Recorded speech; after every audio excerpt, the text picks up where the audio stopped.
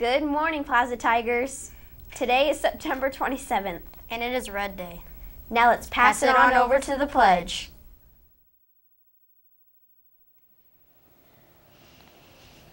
Hi, I'm Emma from The Incredibles. And I'm Casey from the Thunderbirds. Now it's time for the pledge.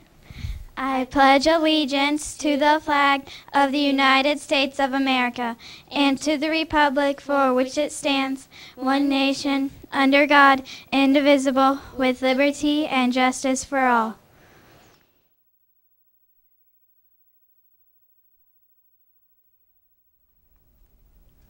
Come join the Park Hill Dance Team October 12th. Pick up a form by the office. Now it's time for Weather in the Flesh.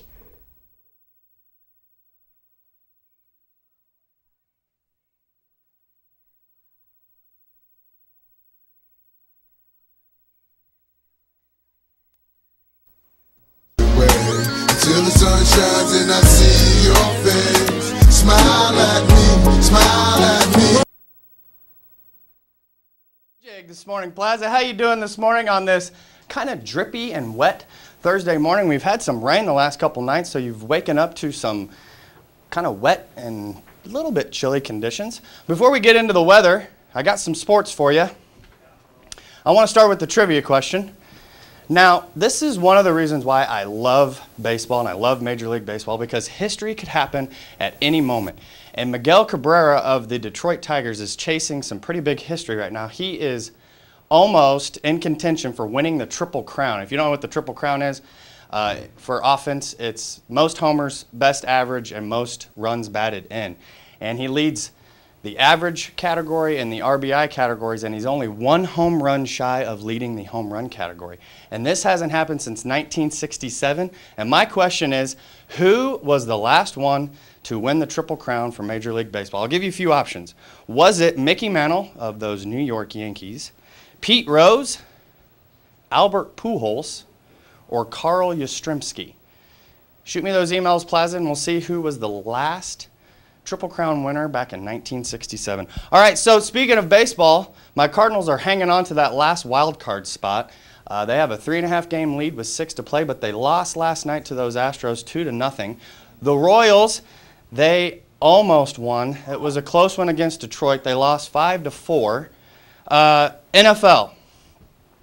Now I'm still a little bummed out from those those honky tonk refs Monday night. And I don't want to talk about the game. Just know Green Bay lost 14 12. I'm still not very happy about it. Those referees, but hey, they're gone. They're gone. The, the good ones are back starting tonight, Thursday night game. The regular refs are back. No more honky tonk calls going on in NFL. The Chiefs, they came back in dramatic fashion to prevent the Saints from winning their first game. They won 27 to 24 in overtime. Some college football scores. Man, the area teams are not doing so good. MU is struggling in the uh, SEC. They lost to South Carolina 31 to 10.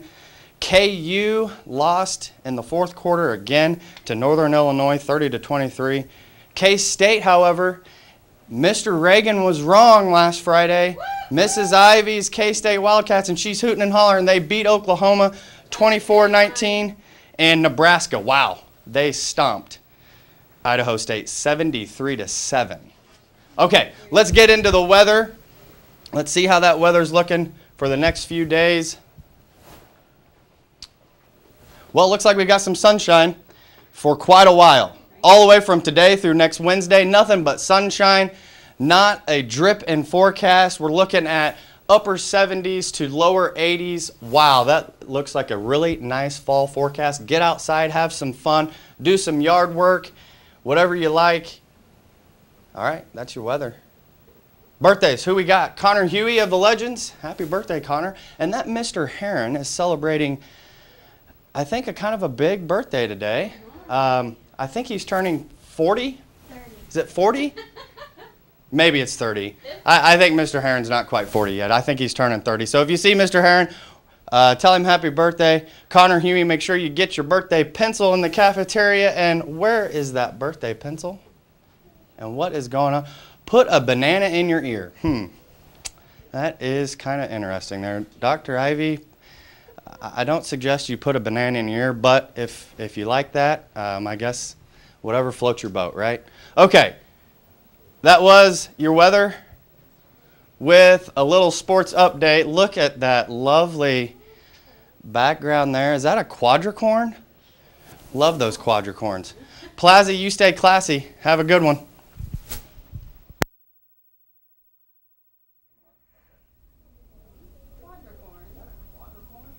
Today's lunch is mini corn dogs with muffin. Or bierock. Premium meal is Big Daddy hand tossed pizza.